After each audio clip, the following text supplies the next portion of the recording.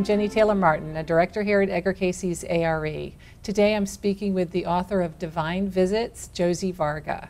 Josie, it's so nice to have you with us today. Thank you so much for having me. It's a pleasure. Divine Visits features real stories of divine encounters and interventions. What made you write this book?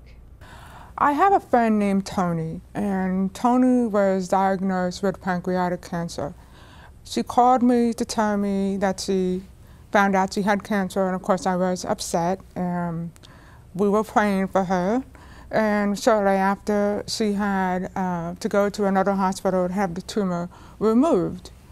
She went to have the tumor removed. Um, surgery went well, um, but something happened when she was recovering.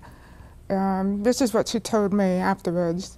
What happened was she was recovering from the surgery and she remembers being woken up. She wakes up, Jennie, and looks around the room and figures, oh, I must be dead, and goes back to sleep, closes her eyes. Again, she remembers being awoken a second time, opens her eyes, oh, I must be dead, closes her eyes again. The third time, she feels a warm tap on her shoulder, opens her eyes, and sees a man who she said resembles a picture of Jesus that she has in her home. So she looks at this man and she said he looked like he was wearing a white doctor's lab coat. And for some reason, she said to him, What nationality are you? I mean, why she would wake up and ask this man, What nationality are you? I don't know. And, and she, did, she had no idea why she did either. But she said, What nationality are you? And she said, The man looked at her and said, I am Israeli Jew. And to this, she looked at him and said, Well, you have the most beautiful eyes I have ever seen. At this point, he bends down, kisses her twice on the forehead, and says, You are healed. Well, Tony didn't tell me about this. Uh, she came home from the hospital, she was recovering, and about two months later, she had to go back to visit her oncologist to see where she stood with her cancer. She goes to the doctor and she says, You know what? I want to send thank you notes out to the people that helped me. And she mentions this doctor, the Israeli Jew. And to her astonishment, the doctor looks at her and says, There is no such doctor. Uh, I don't know what you're talking about. There's no such doctor that fits that description.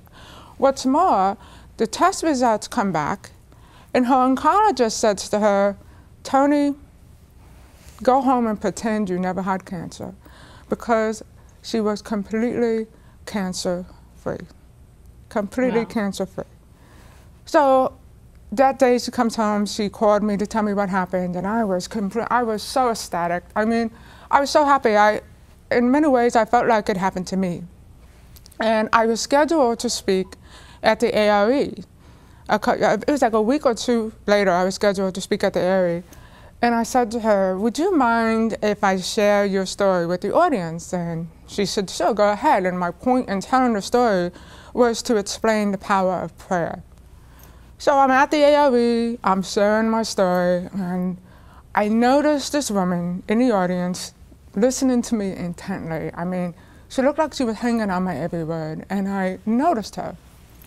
So I'm, I complete the speech, and afterwards, I'm signing copies of my books, and I noticed the attentive woman purposely standing in the back of the room.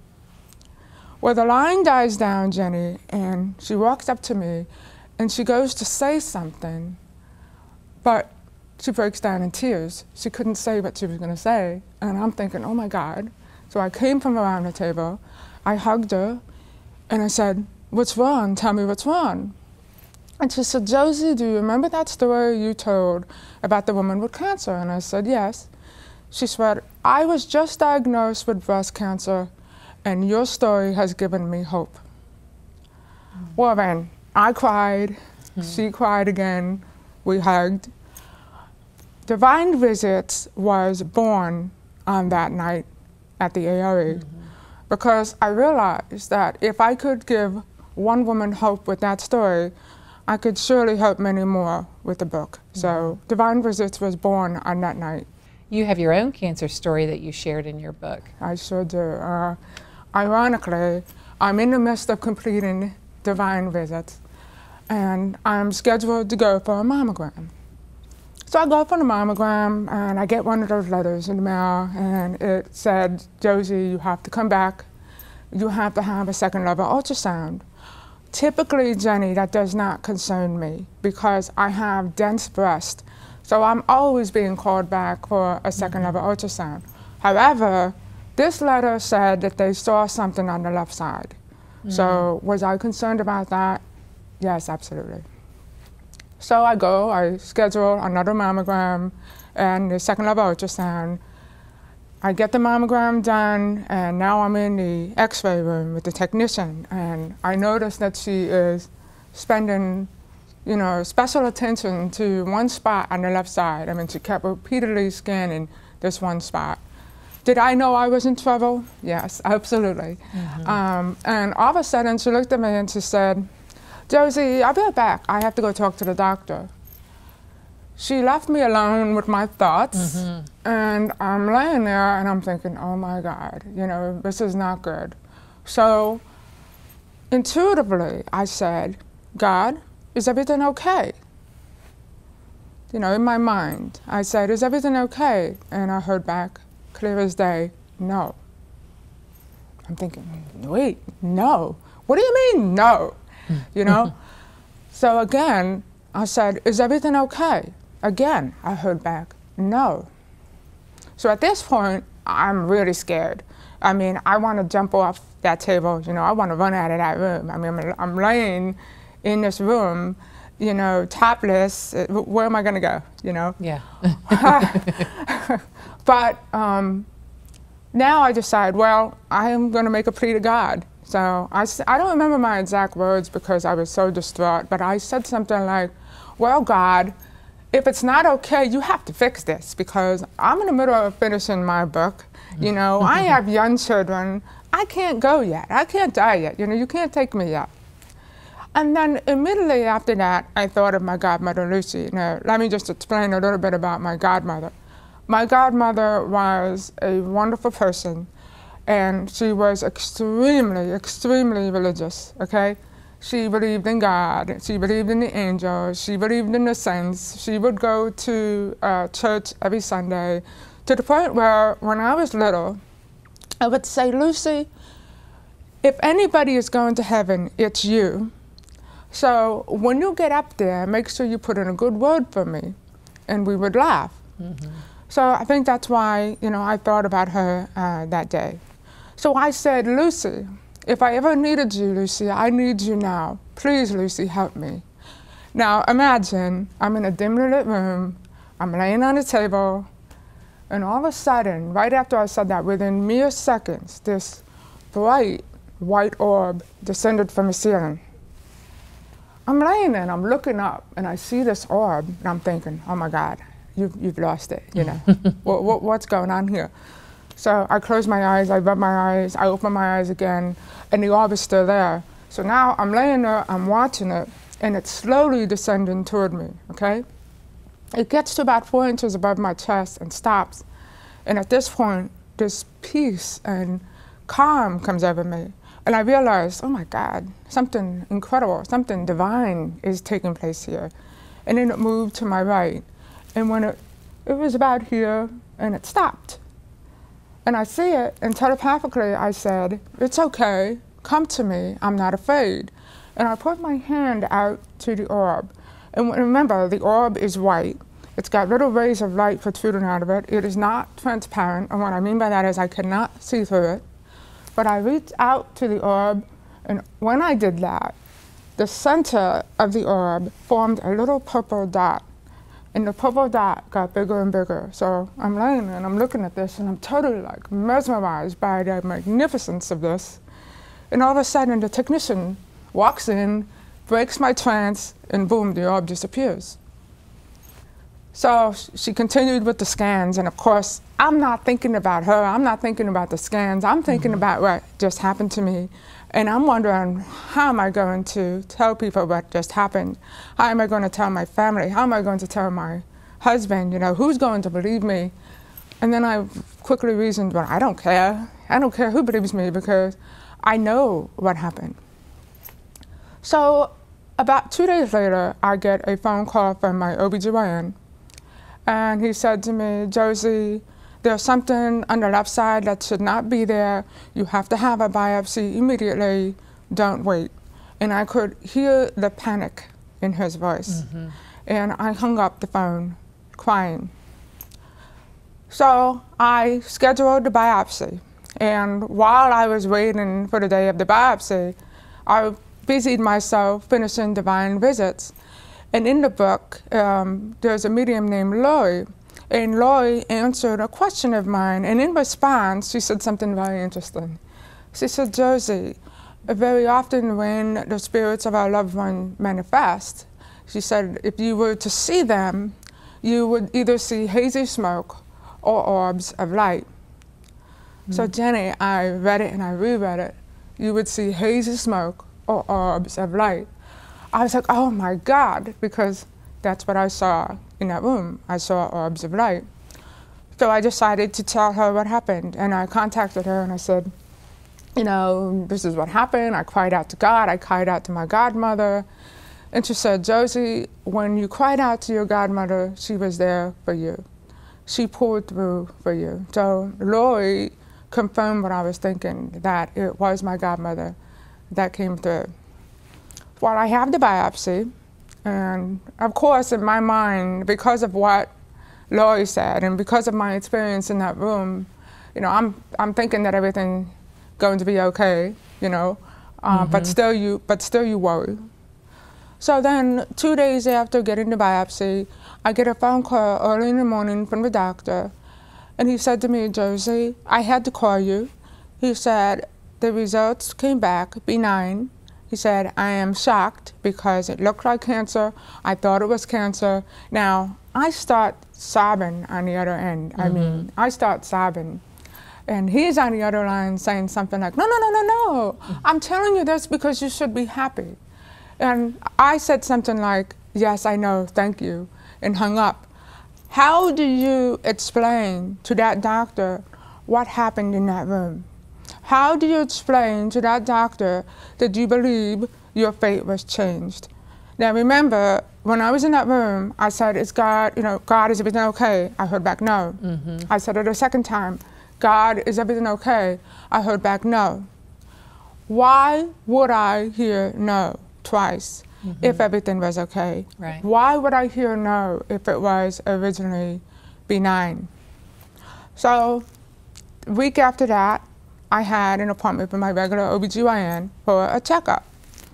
And I basically said to him, so, they thought it was cancer, huh? It didn't, it didn't look good, huh? And he looked at me and he admitted, well, yes, that's what he was told. So at this point, I decided, well, I'm going to tell him what happened in that room. You know, if he believes me, fine. If he doesn't believe me, fine. But I'm going to tell him what happened when I was in that room. So I told him the whole story. And he was just like, looking at me open mouth like he couldn't believe what I was saying. And he said, Josie, there are things in life that we cannot explain, but let's just be happy. You know, let's just be happy that this happened. So um, it's just very ironic to me mm-hmm. that in the midst of completing a book about angelic and divine encounters, mm-hmm. I would experience a divine intervention of my own. So yeah. um, I feel totally blessed there are divine encounters with angelic beings, and then there's spirit guides. What's the difference between the two? I get that uh, question um, all the time. One of the things that St. Augustine said, St. Augustine was a great Catholic mystic, and one of the things he said is, an angel is not an angel because of his nature. An angel is an angel because of his office.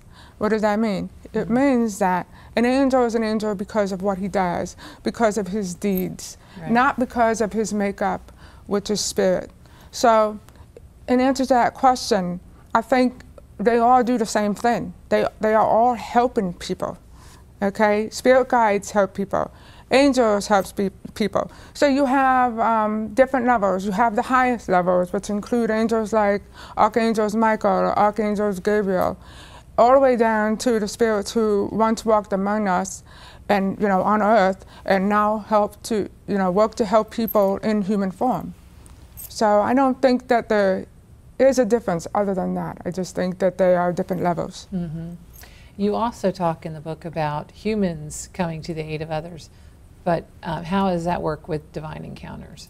Uh, very, very often, uh, I believe that those on the other side can solicit the help of us on this side to help their loved ones. Um, let me explain what I mean. I started a group on Facebook based on my book, Visits from Heaven. The group was only up about two weeks. Um, my point in starting the group is I wanted to give people a place where they could go to read about other, you know, the experiences of, of others, know that they're not alone, know that love never dies, you know. Mm-hmm. So the group was only up about two weeks, and this woman named Lisa posted a story about her son, Richie. Now, Richie unfortunately committed suicide. So she mm-hmm. was talking about the death of her son, and she said two months after his death, she wanted to go see a psychic medium. So she went to a medium named Glenn Klausner. Now, Glenn Klausner, coincidentally, is in Visits from Heaven.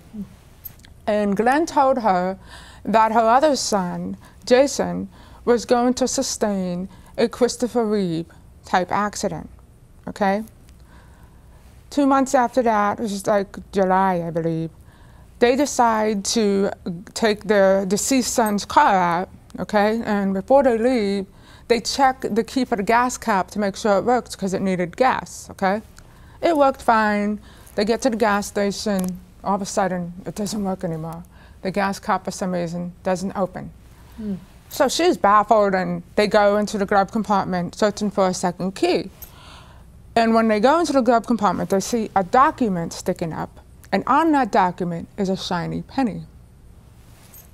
So she takes the document out, looks at it, and it's a, it's a document uh, that her son had gotten from a church. Before he passed, he had joined, joined some church and accepted Jesus into his life, okay? Well, while she's, you know, moments after she reads this document, the gas cap spins open. On its own, just spins open. She's telling the story, all right? Now remember, Glenn Klausner told her that her other son was going to sustain a Christopher Reeve type accident. The following month, her, her son was doing chokeholds, okay? Um, he was doing jujitsu, I believe, okay? And he sustained an injury to his neck. He tore mm. the main artery in his neck. He could not talk, he could not eat, he could not do anything, okay? But she remembered what Glenn Klausner told her, and she felt, well, he said everything was going to be okay. So she was at peace. And within four weeks, miraculously, remember he couldn't, his eyes were rolling mm. back, he couldn't do anything, couldn't walk, couldn't eat, couldn't swallow. And within four weeks, he was back to normal. Wow. Okay? So she posted this story in my group. And for some reason, Jennie, I can't stop thinking about this penny.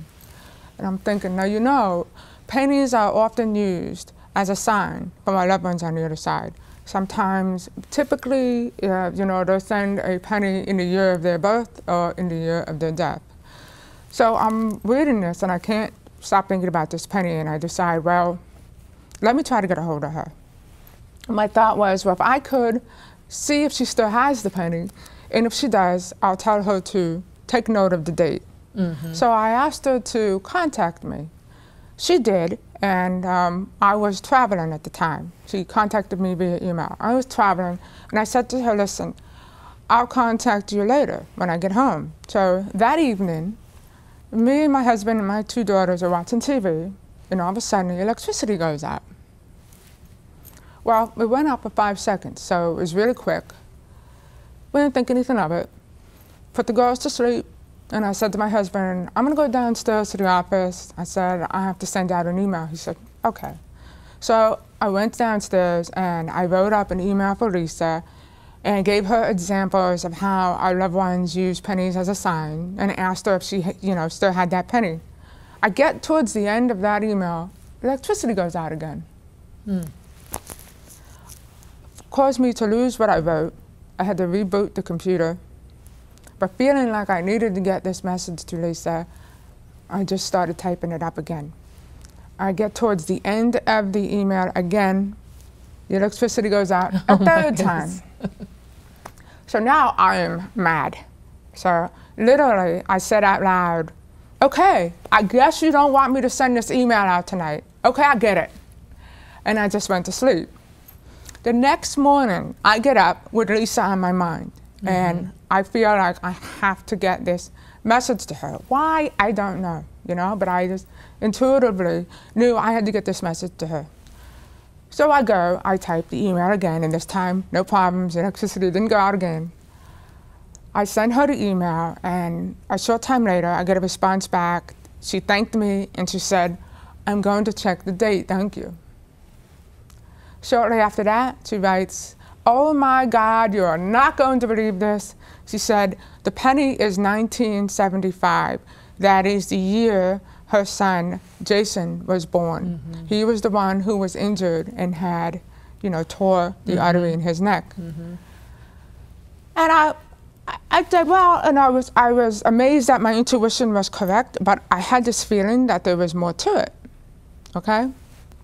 The next morning, I get an incredible email from Lisa. Um, an email that would prove to me that our loved ones are still looking after us, and that love truly, truly never dies. Um, what happened was, after she got my email, she couldn't shake off the feeling that something was going to happen to her son, Jason. So she kept trying to contact him. She contacted her son, and he told her, her Mom, you know, everything's okay. And she said, What are you doing? And he said, Well, I, am working, and I've got to uh, get to an electrical panel on the roof. So she says to her son, well, you know, just this just happened. I spoke to this woman named Josie Varga, and she tells him about my story about the pennies and the email and whatever, and tells him to be careful. Well, what happened next is amazing. What, what happened was her son then proceeds to go on the roof, is walking across this old tin roof, and as he's walking, he sees a shiny penny. Oh dear. now, because of what she said to him, you know, yeah. the story about me and the penny and everything, he bent down, Jennie, to pick up that penny. And when he bent down to pick up that penny, he saw that the rafters were split just ahead of him. He said, mm. had he taken one more step, the roof wouldn't have been able to support his weight and he would have fell through the roof. Wow. So she sends me an email explaining this and she said, Thank you, Josie. You may have just saved my son's life. So can you That's imagine yeah. how I felt? I mean, I was blown away. Mm-hmm. I was crying um, and, and, feeling very honored, you know, that I was used in, in such a way. But it gets better. So um, I couldn't shake that off. I kept thinking about it, and I really wanted to talk to Lisa. So I wrote her and I said, Do you mind if I call you tonight? So we were, you know, she said, sure. And I called her that evening and we talked about what happened. And she said something about an electrical panel. And I said to her, wait a second. I interrupted her conversation and I'm yelling into the phone. I'm like, Lisa, wait a minute. What does your son do for a living? What does he do for a living? And, and she says, um, he's an electrician. And I went, Lisa, my electricity went out three times the night I tried to send you that email. So we were both just stunned because we realized that it was her son that was keeping me from sending that email out. And Lisa told me several times that it would not have had the same impact had I sent that email to her on Sunday than Monday. You know, right. so it had a bigger impact on her Monday. So mm-hmm. she truly believes that it was her son keeping me from sending that email out. So yes, our loved ones do help us from the other side. Yeah. That's amazing. And they use humans at times, like Absolutely. you were used. That Cayce would have said that you were being a channel of blessings probably to that yeah. family. Uh, you so. know, and what's amazing, yeah, they use humans all the time, but sometimes we don't even realize it. Sometimes right. they, they put us in the right place at the right time, mm-hmm. and we are helping other people, but we don't even realize mm-hmm. it. That's the, that's the amazing part. Yeah. And Cayce also talked about divine encounters. Uh, did you want to share something? Sure, sure. Um, Edgar Cayce spoke about angels all the time. He spoke about uh, encounters he had with angels even as a young boy. And he said that we should all be very mindful when we entertain strangers because we might be in the presence of angels and not even realize it. But what I find uh, very interesting about Edgar Cayce is he said that as time went on, he said more and more people would seek spiritual knowledge, more and more people would seek spiritual guidance. And he said that spiritual forces, which include angels, would become more active in humankind, prompting a global spiritual awakening. Mm-hmm. Well, Jennie, look around you, Yeah. okay? It is, it is happening right now. More and more people are seeking spiritual knowledge. More and more people want to know about the afterlife. More and more people want to know about after death communication, uh, near death experiences. Um, turn on the TV, okay? There are uh, more shows about the paranormal than ever before, Yeah. and including radio shows. So I find that very interesting, and I think that we are actually in the midst of Edgar Cayce's predictions right now. What do you hope readers will get from your book? When I set out to write Divine Visits, I wanted to give people hope. I wanted people to understand that miracles are not just something you read about in the Bible. Angels are not just something you read about in the Bible. Uh, miracles are happening every day. They're happening all around us. The divine is all around us. Um, so that's what I hope that people understand that it's it's not just a thing of the Bible. It's actually real. It's very real, and it's happening all around us. That's great. Thank you so much for being here. It's Thank been a you. pleasure. Divine Visits is published by Fourth Dimension Press, an imprint of ARE Press, and is available at arecatalog.com.